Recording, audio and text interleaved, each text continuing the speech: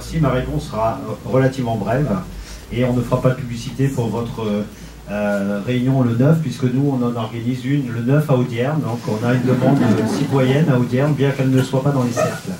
Euh, tout ce que vous avez dit, euh, on le partage plus ou moins et on vous remercie de vive voix de nous avoir répondu. On a senti dans votre réponse effectivement lors des élections cantonales, on s'est dit tiens voilà un Gaspard de plus puisque ça rejoignait un petit peu notre problématique.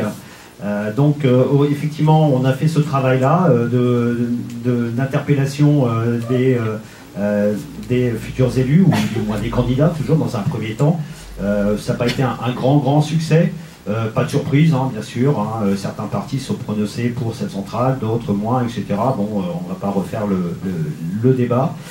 Malheureusement, très peu de ceux qui nous ont répondu ont été élus, ce qui n'est pas apparemment votre cas.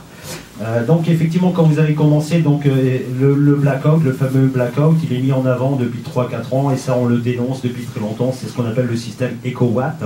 Euh, qui est piloté par RTE. Hein. RTE, qu'est-ce qu'il met en avant? Il met il risque de, euh, il risque de blackout, donc euh, soyez citoyens, etc. Évitez de consommer, etc. de telle heure ou telle heure. Donc ça, c'est évident que pour faire peur aux gens, il n'y a, a, rien de tel. Ça, ça a déjà été dénoncé. Ensuite, quand vous dites que vous n'êtes pas pour un, contrat, pour un débat contradictoire, je ne suis pas, pas tout à fait d'accord et je ne partage pas votre avis.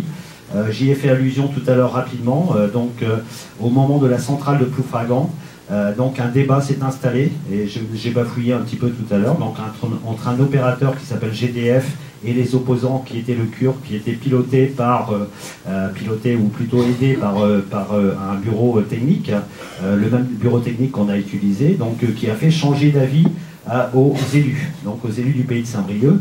Et les élus du pays de Saint-Brieuc euh, ne sont pas des nimbistes, hein, euh, donc les nimbistes, ils voulaient, euh, la, centrale, ils ne voulaient pas simplement dans les Côtes d'Armand, mais ils ne la veulent pas dans le Finistère non plus. ce débat leur a permis de faire changer d'avis à tel point que les élus de Saint-Brieuc, qui étaient plus ou moins partenaires du pacte électrique breton, ont refusé d'aller signer le pacte électrique breton. Ça, c'est quand même assez fort.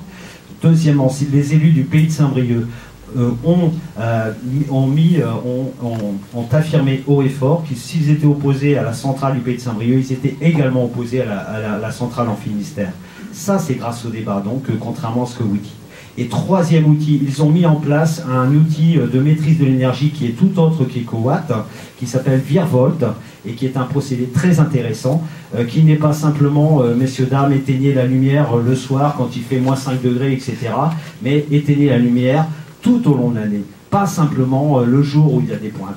Donc quand vous dites que le débat contradictoire euh, n'est pas utile, là il a été utile et euh, je, moi, tel que vous tel que je l'ai interprété, moi, voilà. Donc le débat, à partir du moment où on informe et qu'il y a une information vraiment répartis. Hein, euh, que, quand je dis les élus, bien sûr, c'est les élus décideurs, hein, c'est évident. Euh, les élus, euh, que, que, ce soit les élus de Briec, les élus de Prénilis, les élus de l'Andivisio, à partir du moment où on leur dit vous aurez 2 millions de taxes professionnelles, 2 millions d'euros de taxes professionnelles, ils s'en foutent qu'il va y avoir 3900 tonnes de CO2, qu'il va y avoir 700 000 dans leur commune, ils s'en foutent complètement. Eux, ce qu'ils voient, c'est les 2 millions d'euros. Et donc, quand il y a un débat et que ce débat est contradictoire, c'est ce que nous avons voulu mettre en place, c'est ce qu'on nous interdit. Bah, là, euh, donc, euh, je suis bâton dans les roues, euh, et quand il vient voir les élus à Briec, ils disent ce qu'ils font à Saint-Brieuc, c'est magnifique. C'est scandaleux sa façon d'opérer.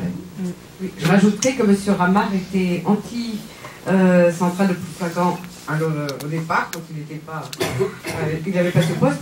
J'ajouterais aussi concernant juste l'autonomie énergétique, elle est possible, Hein, euh, on a conçu, nous, euh, à travers le, nouveau plan interbreton, hein, et on donne toutes les solutions. Par ailleurs, euh, sur le côté nauséabond, je signale qu'il y a des militants autonomistes et même des élus autonomistes dont je suis, et ça n'a rien de nauséabond.